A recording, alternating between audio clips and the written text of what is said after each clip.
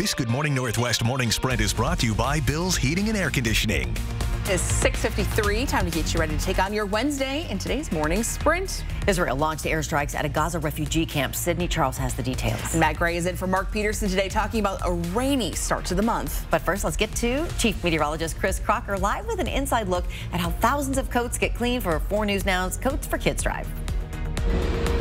Well, our Coats for Kids drive ended yesterday. Now all those donated coats are getting cleaned here at Alsco. We're going to bag up the clean coats and get them out to local community centers so we can get them into the hands of kids who really need them just in time for that very cold weather that is eventually on the way. If you go to kxly.com slash coats for kids, you can find a complete list of distribution sites to help your child stay warm warm this winter.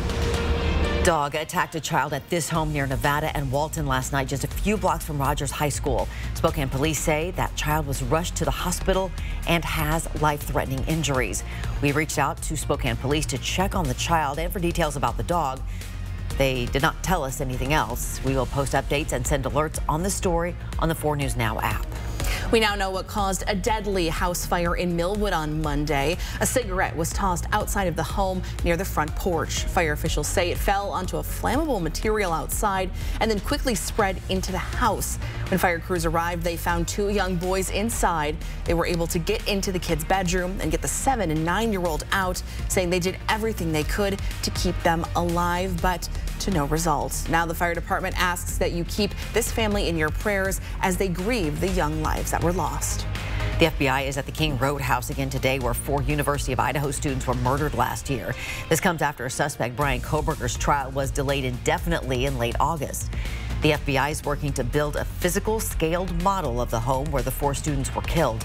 To do so, they have laser scanners surrounding the perimeter of the home for 3D photos and a few drones for aerial footage. According to the statement released by the University of Idaho, visual displays like these take months to build, time the FBI did not have when the trial was set to take place this month.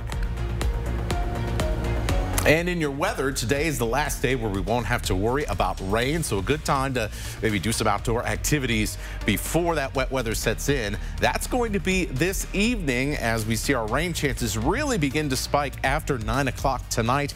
By the time we get to the morning, we'll be pretty soggy across the inland northwest. An influencer with millions of followers has called for the murder of Catholic Charities workers. Stu Peters is a far-right internet personality with more than a million followers across all social, media platforms. Now, over the weekend, the Minnesota-based man attacked Catholic Charities during a speech about immigration. In a clip that was posted to his verified X, formerly known as Twitter account, he said the best option to stop undocumented immigration is shooting everyone involved with Catholic Charities. We have more details about this story story on our website, kxly.com. In North Idaho news, three people will spend the next few years in prison for selling meth in North Idaho. David Churchill, Jonathan Chrysler, and Jack Magnus were sentenced for selling drugs in either Sandpoint or Coeur d'Alene in separate cases. To learn more about each of those cases, find this story on kxly.com. The Spokane Valley City Council has deferred a vote on a new plan to address homelessness across the city. The action plan consisted of these three main points, one of them being to prevent people from becoming homeless in the first place by addressing the city's housing crisis. The plan looks to fill the gap in middle housing. That includes more multifamily housing like duplexes, triplexes, and quadplexes. The City Council deferred the vote because it wanted more time to make a decision. This morning, tensions are escalating in the Israel-Hamas war. The Gaza Health Ministry says Israeli military airstrikes on a Gaza refugee camp killed at least 52 Palestinian civilians and injured many more. The Israel Defense Forces confirms it carried out those strikes and that it killed a top Hamas leader and other militants. The IDF is also accusing Hamas of using civilians as human shields. United Nations Secretary is now renewing calls for humanitarian ceasefire. The latest on Israel's war with Hamas is coming up next on Good Morning America. An announcement from the Federal Reserve on interest rates this afternoon. Most economists predict Federal Reserve Chair Jerome Powell will hold interest rates steady for the second time in a row.